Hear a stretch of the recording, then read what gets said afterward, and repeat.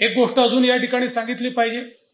सातत्याने माओवादी प्रचार हा राहिला आणि विशेषतः आमच्या आदिवासी बांधवांमध्ये हा राहिला की कुठेतरी आपल्या आदिवासींची संस्कृती नष्ट होईल आपलं जल जमीन जंगल नष्ट होईल.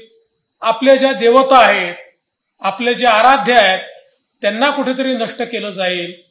पण मी निश्चितपणे या ठिकाणी सांगतो की खऱ्या अर्थानं देशाचे प्रधानमंत्री माननीय नरेंद्र मोदीजी यांनी ज्यावेळी द्रौपदी मुर्मूजींसारख्या एका सक्षम आदिवासी महिलेला राष्ट्रपती पदाकरता त्या ठिकाणी मदत करून राष्ट्रपती केलं त्याच माध्यमातनं माननीय प्रधानमंत्र्यांनी हा संकेत दिला की आमचे आदिवासी त्यांची संस्कृती जल जमीन जंगल त्यांचे आराध्य हे आमच्याकरता अत्यंत महत्त्वाचे आहेत आणि कुठल्याही परिस्थितीमध्ये त्या संदर्भात कुठली छेडछाड होता कामा नये. तर ती जी आमची प्राचीन संस्कृती आहे ती तशीच अबाधित राहिली पाहिजे.